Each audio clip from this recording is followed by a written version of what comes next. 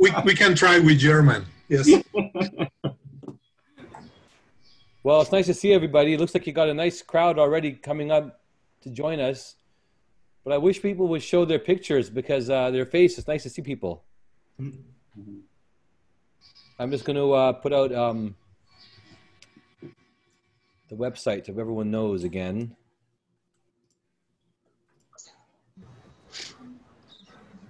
So Jeb and Tiziana, who's going to present first for the for Team Canada? quién, eh, ¿Tú presentas o qué? ¿Cómo hacemos? Porque no me sé el orden. Okay. ¿Yo? Ah, pero entonces da- di- dime cuál es el orden. Mándame, mándame ahí. Ah, perdón. Louis, do, do you do this every uh, every Friday? Asal Sud? Um, the lectures Yeah, are every day. Every day. Yeah, glaucoma is at 11:30, and cornea is at 5:30 p.m. Oh, and then this is special? Yeah, it's a special. Oh, Actually, glaucoma and cornea are combined now. okay. Yes, okay. Also, the guests are special. yes, of course.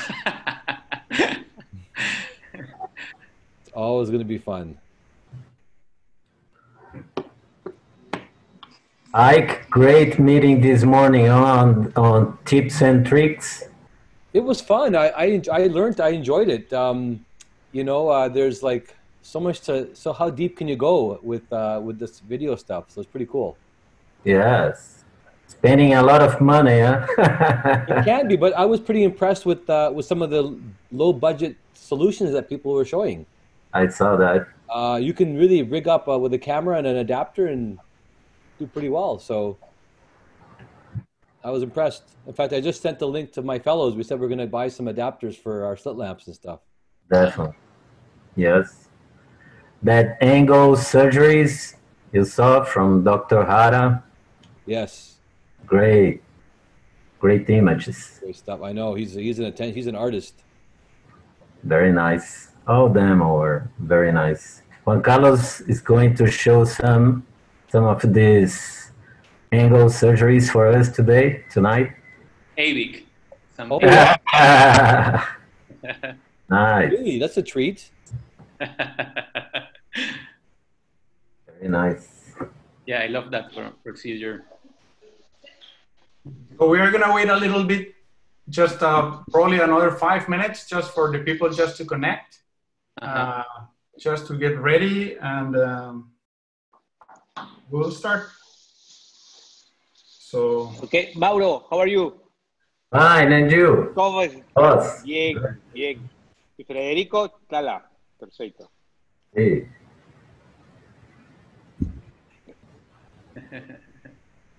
So, Ike, do you have a Brazilian fellow too? Oh, yes. She's, she's Canadian now. She's Canadian now. She, uh, she she's coming to the dark side. yes, yes, Tiziana. she Tiziana, plays hockey. see her there. Hi, everyone. Hello. Hello, Hello. Tiziana. Hola. Is that Brazilian or is that Spanish? Hola. Hola. Works for both.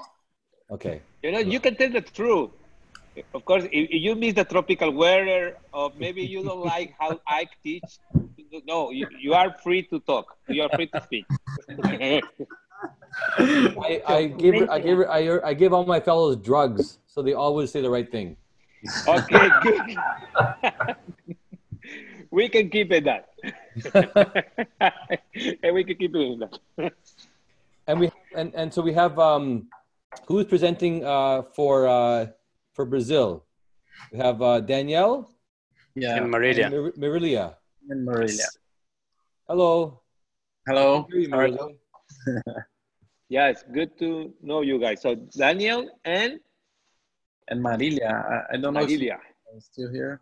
Great. Yeah, yeah, it's Maria. Marila. And Portuguese is excellent because my fellow is teaching me lots of Portuguese this year. Você entende português? Oh, he does. And then and then on the Per- on the Peruvian side we have who we have Mirel and Cristobal. Yes. Hi, I'm Mirel. How are you? You're Mirel. Say, yeah, say hello I don't see you guys. Okay. I'm here. I'm Mirel. Hello Yeah, to Mirel everyone. is there. Hi, Really happy Cristobal be is uh, sleeping. Yeah, Cristobal, maybe maybe he's sleeping, but he, not, he, Yeah, he you know, doesn't where is appear. Cristobal? Cristobal is- Right there, he's right there. If Where are you, Cristobal Cristobal? If, Chris- if Cristobal Ah, he's doesn't appear, he's gonna sleep forever. Yeah, he's gonna sleep forever. he, he doesn't appear. So. Or probably, probably cooking. Yeah, maybe. So this is going to be a nice format. We're going to have our cases presented, and then we're going to have our some faculty making comments. And yeah. now, now, will you be, will you comment on on Canada's cases as well? I mean, right? Yeah, that could be fun. I, I- so we can use everybody, you know, because maybe there are different techniques or different approach, and you Uh-huh. can share with everybody. That could be really fun. Oh, I see. We have Lupita here. Lupita, turn your turn your video on. Hi, Ike. Hi. How what are you, you? Let me see your popsicle you're having. Wow, that looks good. Ah, It's a gancho. Hola, Lupita, What is that called? A popsicle? Gancho. No, no. Paleta. Paleta. Paleta. Paleta helada. Is it cold? Yes, it's a mandarin. it's Nice. like a popsicle. Very nice. so nice. have- hello to everybody. Thank you for Hello. listening. And Lupita, we have a course coming up on um, next week, Tuesday. Tuesday. It's about Next it's about Tuesday. it's about making mistakes. Exactly. Learning from our mistakes. Yeah, it's basically everyone making mistakes. I have to fix their mistakes. That's what it's about. So everybody, everybody's invited, and at four o'clock Mexican time, five o'clock Toronto time, and we will be there. We are Be like careful. twenty-five people. Be careful. Lewis is going to charge you for advertising on his on his channel. yeah, yeah. You have Which to is my send more. friend? Which is my friend? You have to send more ice cream for us, you know. yes. But I, I think maybe we can send also some tacos and, and maybe some tequila too. Some Just in case, you know? tequila, mezcal. Yes. Okay, a mezcal. That's very good. But the next, the next Friday, Lupita, she are going to stay with us. Ah, you have also to. Yes, You- with have- uh, Filomena you have an election. Ribeiro, Yeah, for uh, sure. Aventura. Women power. Yeah, women power, of course. Ah, Ah, it's true. This Friday. And, and yes. Elena Barraquer, yeah, the next Friday. Did you listen to that, Ike? Uh, I, I've got, are I've you got- calling Vicente Girls on Power? Yes, just girls. Ike? I'm going to That's crash a- that party. Yeah. Yeah. We We're gonna have a ladies ladies website. Oh wow! Women power. And only who's invited? Only So women. if- Well, Elena Barraquer, Bruna, eh, Filomena Ribeiro. no, but I mean attendees. Can anybody listen, or only it's only for women? No, no, it's for everybody. It's for everybody, yeah. Izquierdo gave us the pressure, the pleasure of just being for women. Oh, great! Yes. That's nice. I only my, my only you know job is gonna be to open the Zoom because they're gonna do that all the job, right? so it's okay, don't worry. No, that's gonna it's great, it's great, Lupita. That I think it's gonna be great. We're gonna dress for, for you, Oh Yeah, wow! Okay. okay? We're gonna put some nice suits and everything. Nice, That's nice. That- lots that's- of perfume and So everything. send us the link. Send us the link. Yeah, yeah. Thanks for the perfume. I'm definitely gonna remember that. Okay, I. okay, Nice. guys. So ¿Empezamos? Yes. So the idea will be to start to present the cases, and then, of course, uh, maybe the fellow can uh, ask, you know, to to stop the video or whatever, and say and do some questions if they want. How it's gonna be, for example, the approach, whatever you want. The idea is to, you know, to share the case and hear other opinions too. Okay. Yeah. Good afternoon, everybody. So, yeah, the, as Dr. Luis just said, uh, the format today is going to be a little bit different than the usual format that we have in Oftalmosalud uh, cases, uh, I mean, presentations. So, this afternoon, we will have uh, three different groups one from Brazil uh, with Dr. Mauro Campos, Dr. Federico Franca, from Canada, Dr. Ike Ahmed, Y from uh, Peru, Dr. Luis Izquierdo, Maria, Mario de la Torre, Juan Carlos Izquierdo.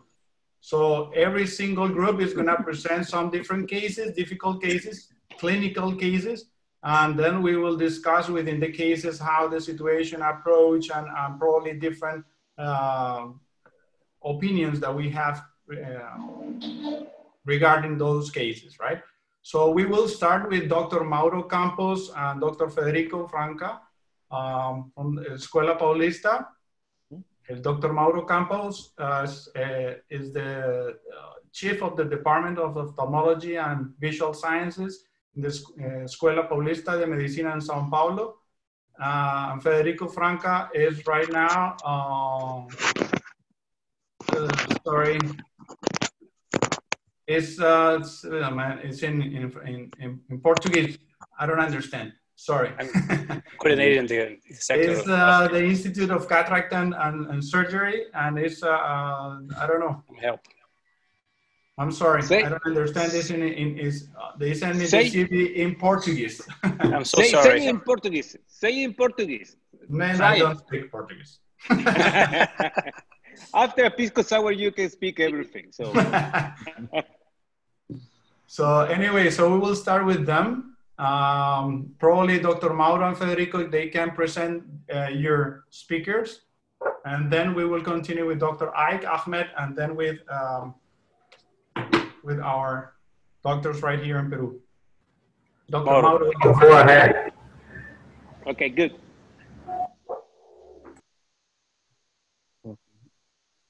Um, should I start? Uh, Yes. All right. Uh, can you see well? uh, are you are you listening to me well? Yes, Daniel. All right. Okay. So, uh, good evening, everyone. Uh, my name is Daniel. I'm a former fellow of the surgical optics sector from Unifesp, that is Escuela Paulista de Medicina. It's a pleasure to be here tonight. Uh, this great name of ophthalmology together on the same screen. Um, I'm going to present a case tonight that was very important uh, on my fellowship program. So I, I- was a fellow on this case. And so uh, the case is about a male patient, uh, 73 years old, uh, born and living in São Paulo, Brazil. Was referred to me after a complication in his cataract surgery. Um, it- it's kind of common complication since this is a teaching institution. There is a lot of residents still learning. So when this kind of complications happens, uh, usually the, the patient is referred to a doctor of the fellowship program to uh, undergo a more uh, complex uh, intervention. So, so this patient underwent a phacoconstriction surgery in which occurred a rupture of the posterior capsule with dropped lens fragments, and that was converted into an extracapsular facectomy. So um, on the recurrent day, he underwent a posterior pars plana vitrectomy in order to recover the lens fragments and remove the vitreous that was present in uh, the anterior chamber. So uh, usually when this happens, the lens fixation is performed at the same time, but uh, due to uh, uh, high blood pressure and, and uh, conditions, the retinal surgeon decided to be less invasive and shorten the surgery, and the patient was left aphakic. So on, the, on his first appointment with me, the patient had undercorrected visual acuity of 20-100 on the right eye, that was his other eye, and with correction, he reached 2070 due to a, a cataract. And on the left eye, he was hand motion, and with correction, he, he reached 20, uh, 50, 50. So um, he had uh, in this eye a lot of areas of iris atrophy, some sternal corneal opacity on the upper region of the cornea uh, due to the sutures that were made on the extracapsular facectomy, and he was aphakic. So he, he had some EPR atrophy, some macular drusen, and not significant lesions. So uh, I well, we decided to perform a sclerofixation of the lens. Uh, I choose the Yamane technique.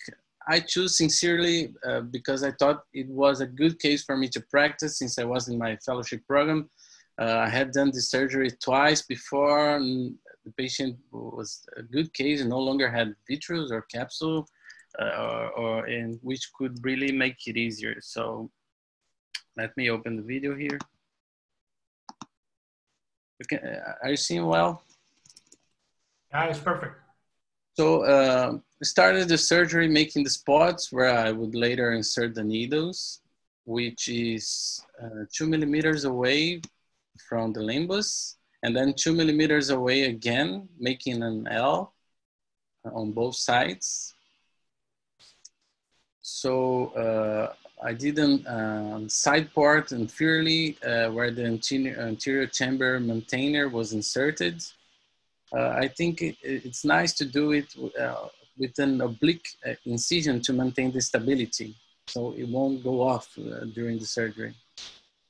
So I inserted the needle on the point uh, that, that, was previous, previously marked and being sure to make a, tunnel, a tunnel sclerotunnel inside uh, towards the second and the third points that were marked. So uh, I think one tip here, uh, a tip that Yamane himself gave during his visit here in Brazil, it is to make a principal incision superiorly, not uh, like 135 degrees like in phaco.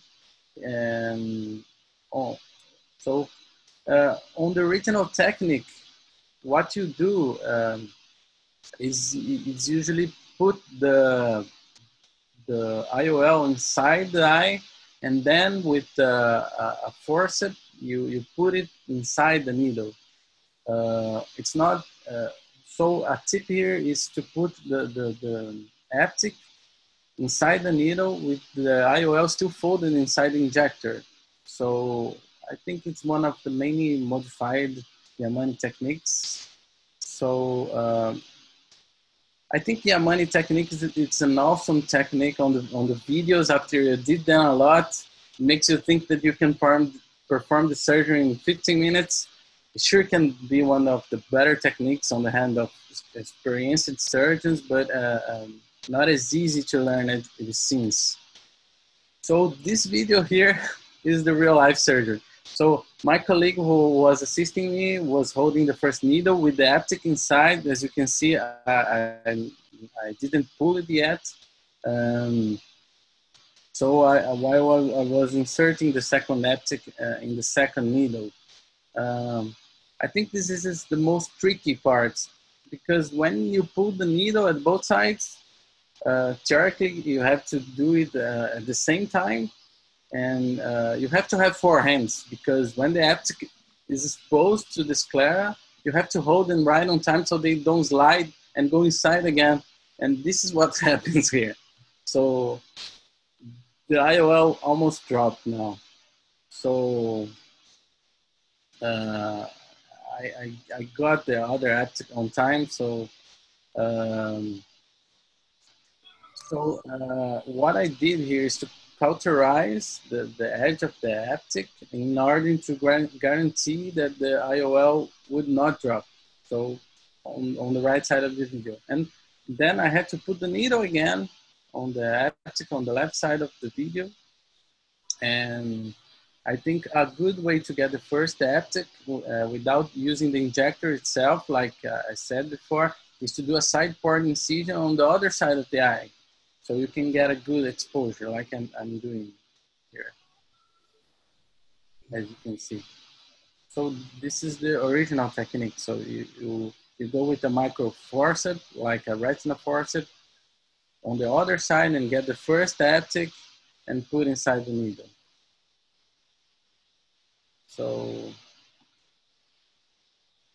it's not easy as, as we think. You have to get on the edge of the haptic.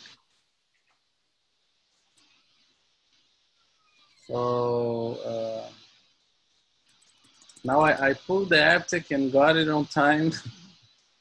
So this is the final aspect of the surgery. The recording of the video stopped here, but uh, I, I, just cauterized the other haptic and put it inside the sclera. It was uh, a good effect on the final of the surgery. So um, this was his slit lamp exam. On the third day post-surgery, there was a lot of subconjunctival hemorrhage, a little corneal edema, but the IOL was in a good position, as we can see on this other image as well. Uh, this is his, his lamp exam after one month of surgery. Uh, there were no inflammatory signs. The patient reported uh, good visual acuity. And this is the other eye with only a cataract, nothing more remarkable. So at this point, his visual acuity on the left eye was counting fingers with a much better refraction, of course, and he reached 2050 with this refraction. So this little lamp exam uh, showed you on the photos with nothing more remarkable. So what we see in histomography exam is a quite regular and symmetric astigmatism, which I was not expecting, uh, with an approximately simulated astigmatism of 6.7. Uh, where's my mouse? So one month later, didn't change much. Uh, here we can see an astigmatism at some point near six diopters. So our question here is, is if that whole amount of astigmatism is due to the corneal sutures or due to IOL, maybe a bad positioning or tilt or something. So what we see here is that probably almost of all of it came from the cornea, since the astigmatism is practically coincident with the refractional astigmatism. And besides that, the IOL was in a good position at the exam. So the curious of this case is that the steep axis is almost coincident with the needle incisions from the Yamane technique, which made me think if it was caused by this technique. But unfortunately, I don't have a preoperative tomography. I could not imagine that this was going to happen. There's a lot of regret for not doing that. And since his refractional astigmatism for the fixation surgery was also high and almost the same axis, it's possible to presume that this uh, by the and the cytometry was done prior, the fixation was also coincident. So the regularity of the astigmatism surprised us, so we decided to correct it with a PRK surgery. He has no need for a topo-guided surgery. His refractional astigmatism was something between six and a half and seven diopters. It was not easy to precise it. The patient was not a good informant. And since we can program the excimer laser to perform an ablation of more than six cylinder diopters on Alcon EX500 that, that we have here on Unifesp, uh, I treated also a little bit less of the spherical power in order to try to maintain the spherical equivalence near plano. So I could, of course, have treated two times in a row and reached seven diopters, but uh, I thought that it was not necessary at this point. So I programmed the machine an ablation of uh, plus, uh, three with minus six on 115 axis. And we also performed the phaco emulsification on the right eye one month after. So this is the final result. After three months of the PRK, we can see that there is still some astigmatism left at the same axis, something near one and a half and two diopters. Uh, even the auto refraction giving uh, plus one and a half with minus two and a half, the patient didn't improve with this refraction, still preferred plano, which was so his, his final uh, refraction. So um, this uh, just only for comparison, uh, before and after. So believe it or not, the final visual acuity without correction was 2030. His right eye became a little bit myopic uh, post-phaco emulsification. This was an, a good result. Uh, I prescribed spectacles, but the patient probably didn't make them because he was already happy with his visual acuity without correction. It was practically a monovision. So, and he was not too demanding with his near vision.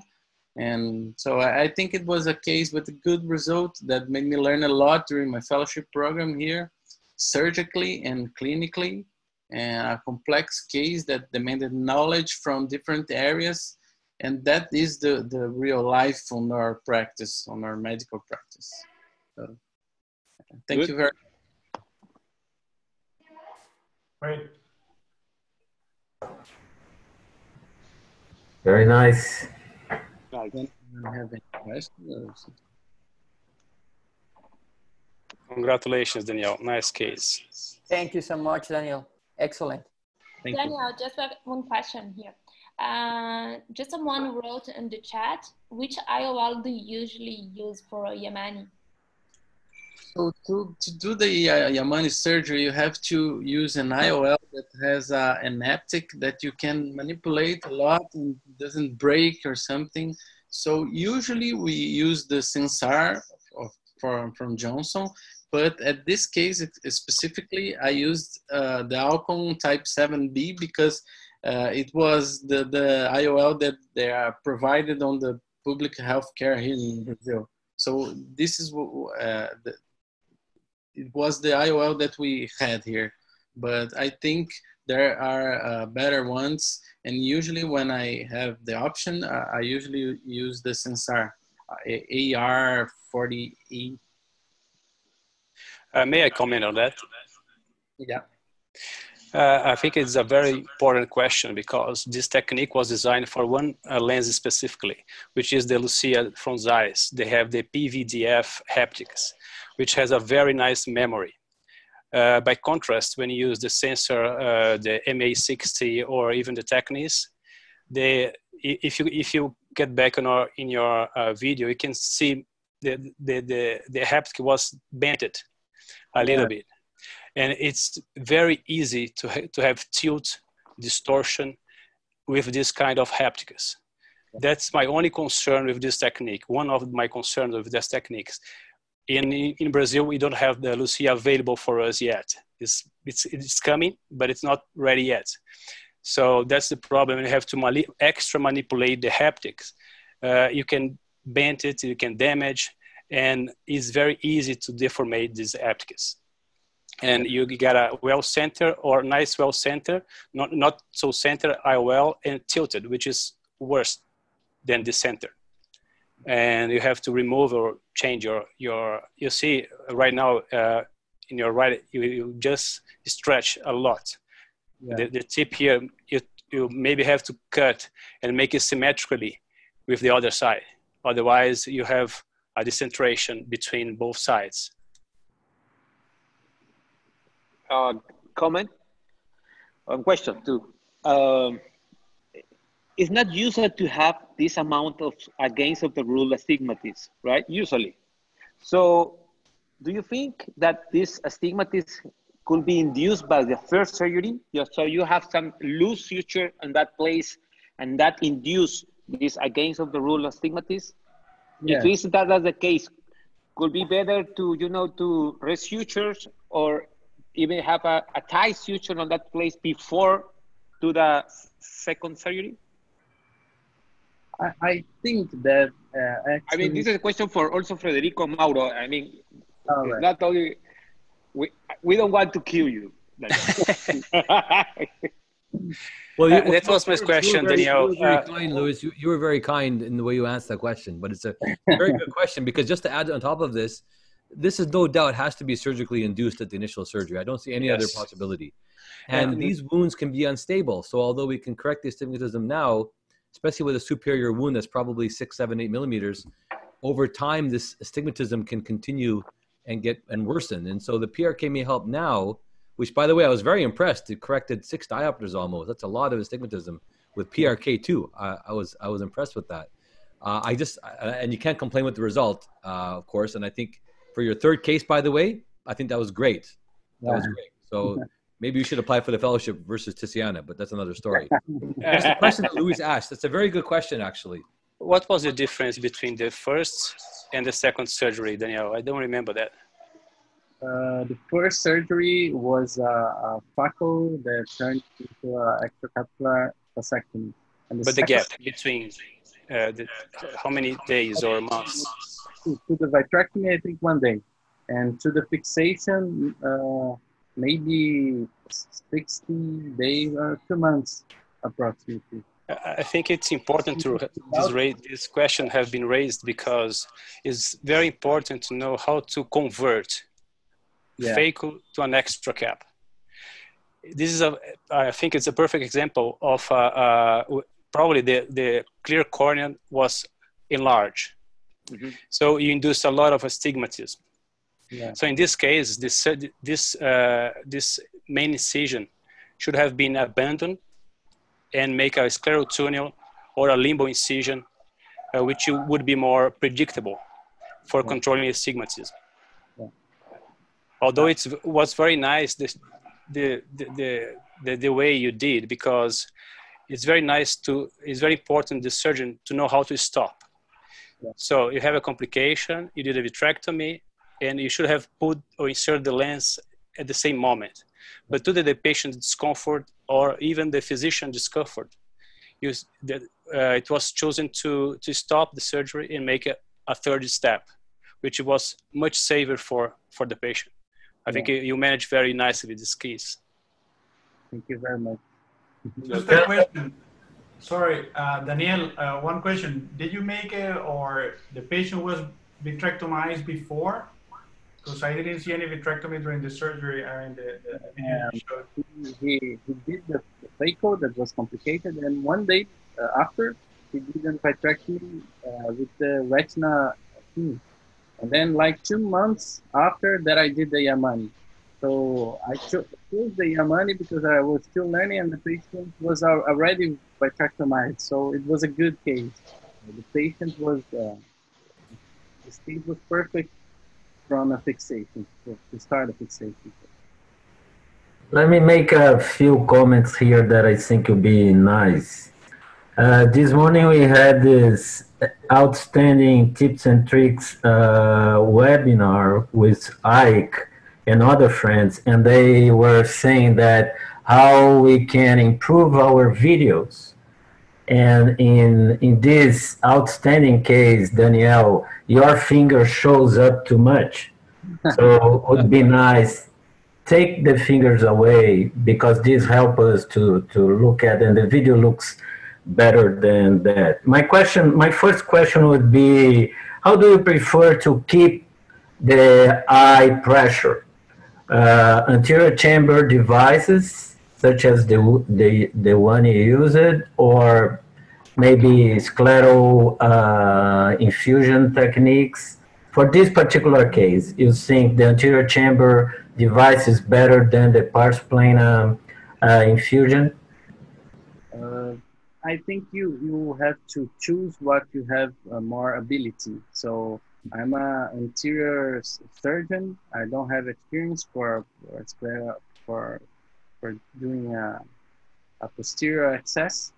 So I am used to, to use an, an chamber maintainer.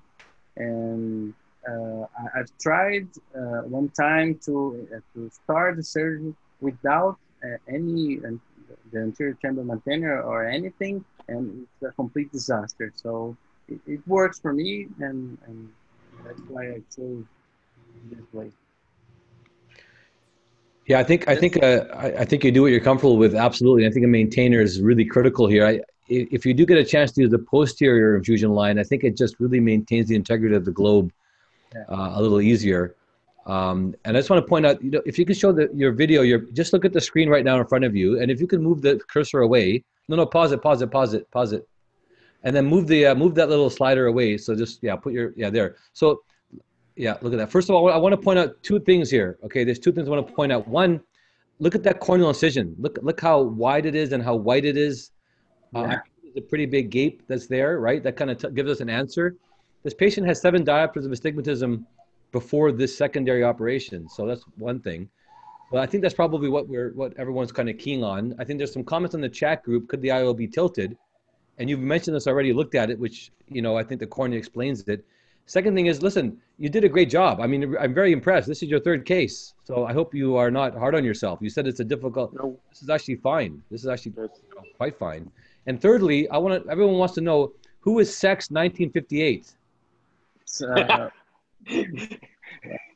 well, it's not me. At the top of your screen, next to your battery there. Oh, it's sexy sexta-feira that is Friday. ah, Because everybody was getting very excited, very excited. yeah, yeah. I- if not, was very fast and a smart answer. You know. Very Yeah. smart answer, very fast. Yeah, yeah. It was too fast. Seems to be a reminder. Short for sexta-feira. Sex time. Yes, eh, maybe just to teaching purpose. Yeah. Sometimes, of course, you don't have the uh, have a history of the patient, uh, and you don't have maybe a topography. But always, uh, guys, take a look to the other eye. So if the other eye don't have too much, you know, against the rule that this case, so we want to be pretty sure that maybe it's induced by, by the first surgery, right? So always look, always look the other eye, and also again for teaching purpose the uh, if you put anterior maintenance you're going to induce more fluid who can push more the lens behind you see in the moments that you are trying to to put it. So maybe posterior of course but this is like a really congratulations really nice case. So and this is the idea this is the idea learn. Uh, One thing that is very interesting is the corneal thickness at the at the area of the old incision. As Ike showed us, the cornea is a little whitish, and you can see here that the cornea is almost one millimeter thick. So this is not normal, uh, definitely.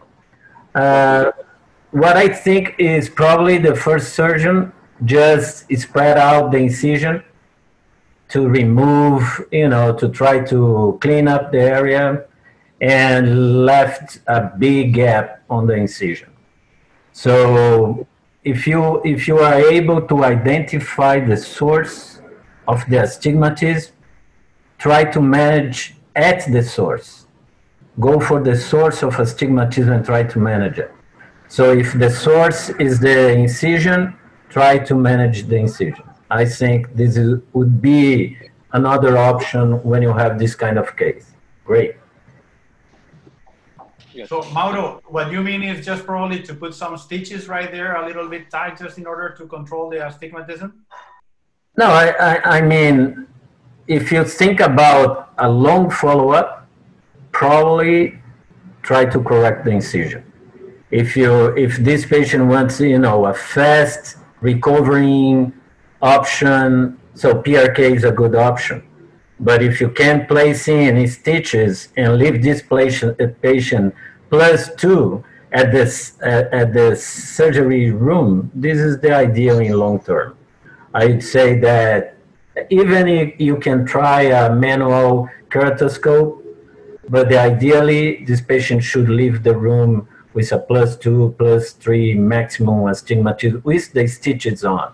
Then you can just remove it after a month, after three months, and try to control these astigmatism. Because the spherical equivalent was zero.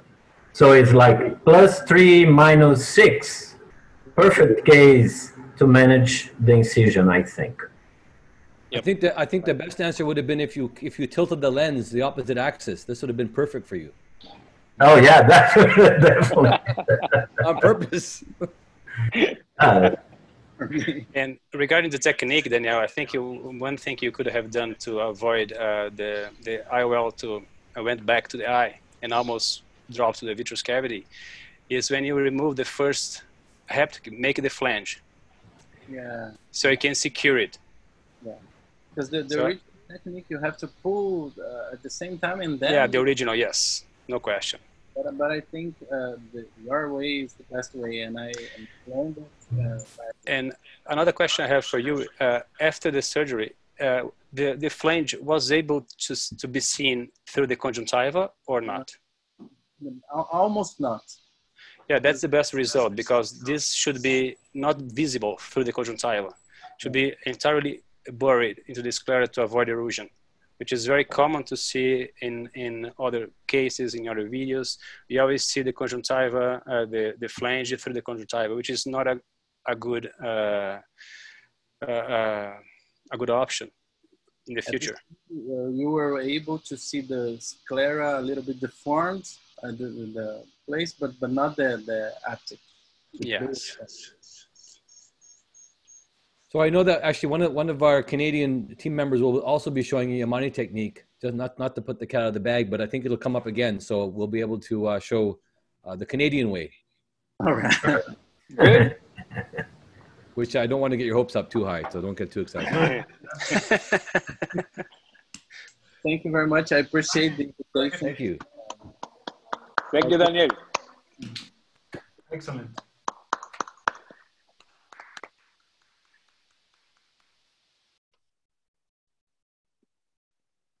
So we ran for the second case. ¿Te gusta bañarte? Your turn. Yes. ¿Quién te bañó más? Good. Perfect. Can you hear me? Yep, perfectly well. Okay. So, good evening, everybody. My name is Marilia. I'm a surgical optics fellow in Paulista School of Medicine, and I'm going to present a case that came into our emergency room last week. It's about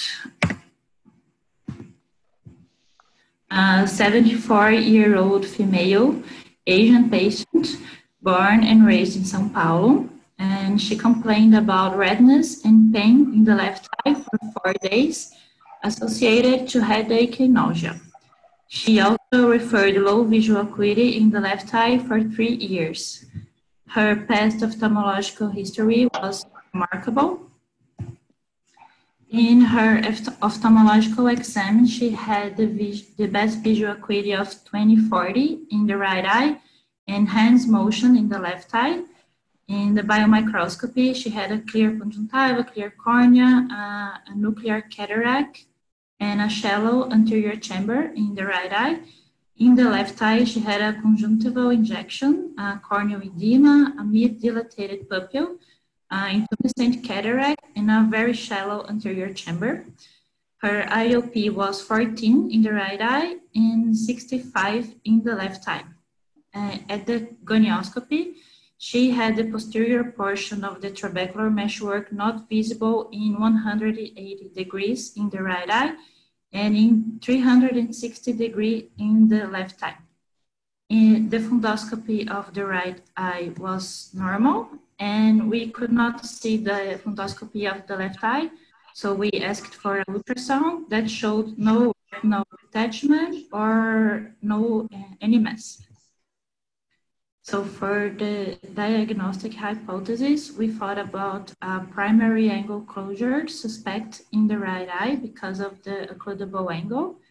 And we thought about a phacomorphic glaucoma in, because uh, causing this secondary angle closure in the left eye. So for the management, we uh, prescribed systemic acetazolamide, topical timolol, brimonidine, and latanoprost. And we asked for preoperative evaluation, biometry, and to schedule uh, in the left eye. So this is a picture of the right eye. We took it in the operating room, so we cannot see many details. I'm sorry about that. And this is the left eye with a hyperemic conjunctiva, a white intumescent cataract. The anterior chamber was very shallow, but we unfortunately we cannot see in this picture. In the day of the surgery, the IOP was 45, even with all the medications. So we decided to do intravenous mannitol to lower the vitreous pressure and also we decided to make an sclerotomy with a 23 gauge needle to perform a vitrectomy of the core vitreous to lower even more the IOP and avoid any positive pressure during the surgery.